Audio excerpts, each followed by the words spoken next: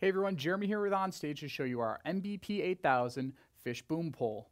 This is an all aluminum piece, so it's super light, so you can really just hold it up there for hours and not have any strain on you. It, it adjusts uh, out with these little collars here. You just twist and slide it to where you want. There's even these little rubber rings you can slide down into place for that added security, so it doesn't accidentally, if you don't tighten it up right, uh, it'll stay put. It comes preloaded with, uh, I'm going to shrink that back down really quick.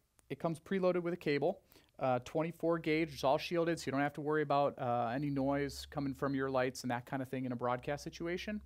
And it even comes with a little carry bag, so you can just throw it over your shoulder when you're done. This is the MBP 8000 by OnStage. You can check out this product and more at on-stage.com.